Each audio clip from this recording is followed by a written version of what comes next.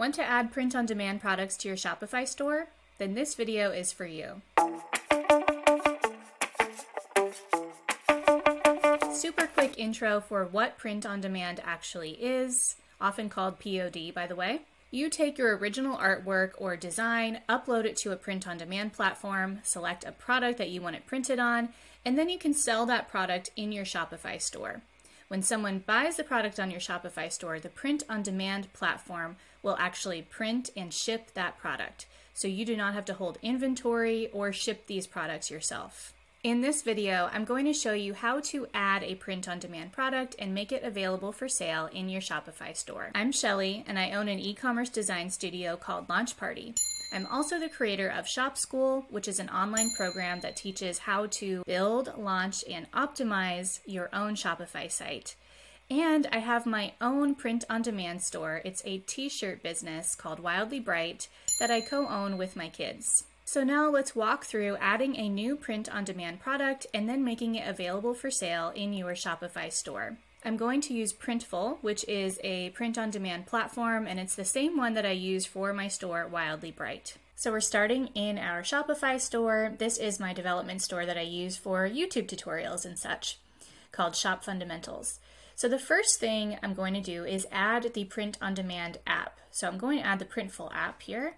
So clicking apps over here on the left, I don't have it yet installed, so I'm going to search for Printful. And clicking this will bring me to the Shopify App Store. And here it is, the first one right here. You can see there's lots of other different print on demand options. So make sure you check out different options too, because they'll all have different products and pricing and so forth. So I'm clicking this, going to click Add App to install it to the store. And then I need to click Install App over here on the right and it brought me straight to Printful. So I created an account already in Printful for this purpose. And if you do not have your account yet, you will need to do that step first, and then it will bring you here.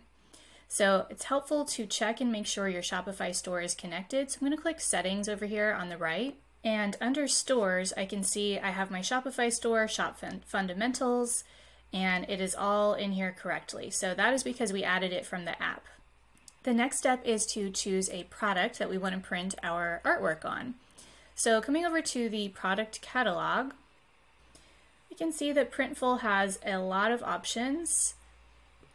And for this, I'm going to do a hat. So let's look at our hat options here. So we can sort by technique here if we want embroidery or cut and sew. Okay, so I like this vintage cap here.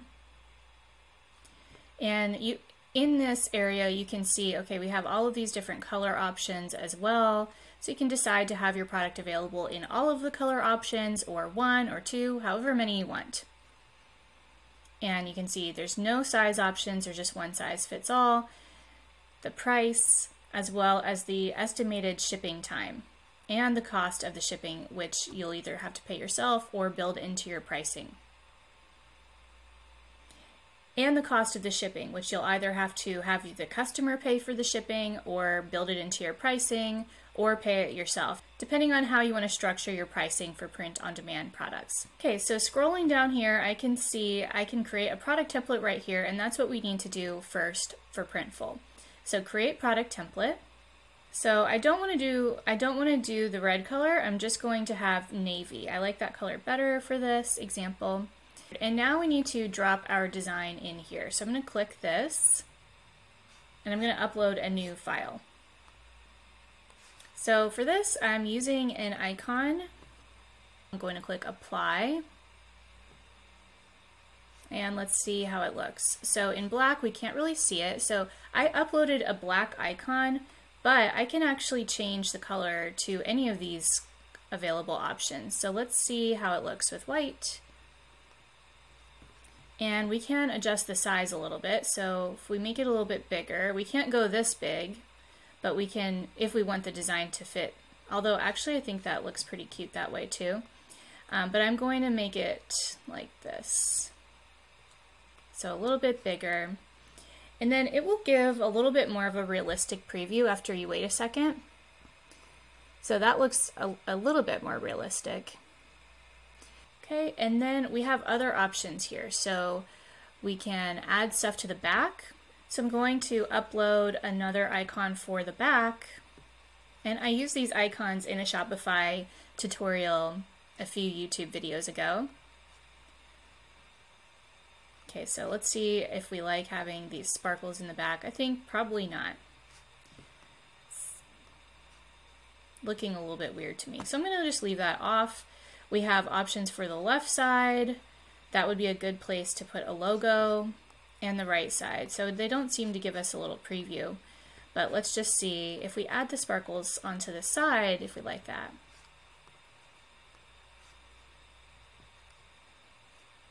So it just shows us it's going to be like right here. I wish it had a better preview of that, but in the mockup files, we should see that.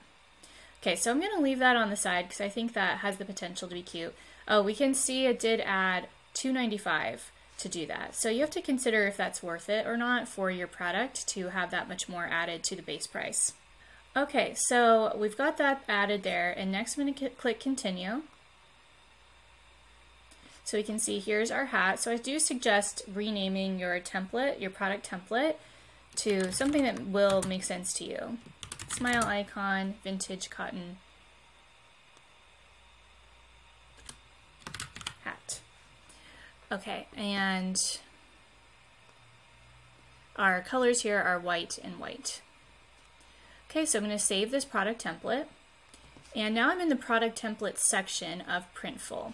So here's the one that we just added. So now is when I can choose to add this product to my Shopify store. So I'm going to click add to store and then we need to fill in some details. So yep, I only want the navy available. Proceed to mockups.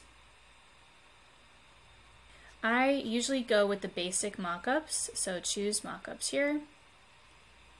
And we have some options. So we have our just standard product right here on white, and we can now we can see the side little icons over here. Um, and then we have different models that we can see it on. So there's the hat. On that one, my icon's like weirdly off to the side. So that one actually didn't work that well.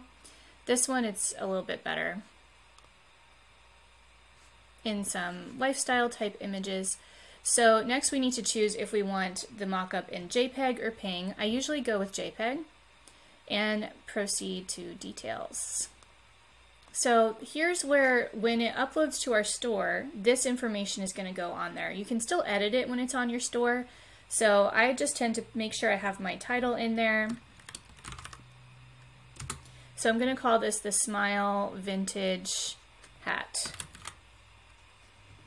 And then this description they give us, and I strongly suggest that you update this description, but I tend to like to do that in Shopify. It's totally up to you though. You can rewrite it right here, but I like to just have this as my starting point in Shopify. And you can choose if you want to add this on-demand manufacturing notice. I'm going to just keep that off. I also like to attach the size guide. Even if I have a separate size guide, I just like to have it on my product area so that I know what the sizes are and I can make my own size guide if I want to. And choose imperial or metric for the size guide. And then you can add some tags if you want to, that's just for your own internal store organization. And publish your product. So this product will be visible in my online store. I do want that. And I don't have any collections on this that I can choose here, and that's okay because I can do that all in Shopify as well. So next, proceed to pricing.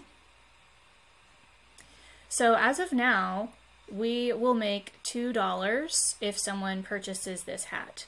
And if you recall, shipping was over $2. So we definitely want to have a higher revenue here. So I'm going to set my revenue to, let's say, $12. So that would mean the hat would need to be $31.45. So this is something that you'll need to decide what's going to make sense for your business, if you need higher or lower revenue, um, and how much someone's going to pay for the product. So I'm going to make it, because I feel like that's a weird number, I'm just going to make it $32, and then the revenue is $12.55. So submit to store, so now we can come back over to our Shopify store, go to products, and your new product will be there. So here it is. If it's not there, try refreshing. And now we can click on it and make our additional adjustments. So here's our title. We can you can edit your description, which I strongly suggest doing. You can add your size guide separately on another page or have a pop-up size guide. Here's your product category. Make sure you fill that in. So I'm just going to type in hat, and that's a category, so that works. Product type, hat. So you can organize your product as you need to. If you're not sure how to do all this, I do have a full video tutorial of adding a new product to your Shopify store, so check that out. Okay, so I'm going to click Save and Preview, and we can see what it looks like. So now here is our product that is available for purchase on our Shopify store. And in your Shopify product dashboard, you can see down here the location is Printful. So when someone orders this, since it's all synced together, your order will go to Printful and Printful will send this product to your customer. That part is really cool. And you're done. So it's pretty easy technically to add a product to print on demand and sync it with your Shopify store. The hard part is deciding what products to sell, what designs to put on them, pricing, and marketing. If you want to learn even more about print on demand, make sure you sign up for my upcoming free Launch Lab live session. Every month, I explore a new topic and we do a live training session about that topic. And this month, for May 2023, it's all about print on demand. And if you're watching this after May 2023, you can still sign up for the Launch Lab and see what we're talking about this month. Thanks for watching. Make sure to subscribe to my channel if you want to keep learning about ways to grow your product based business online.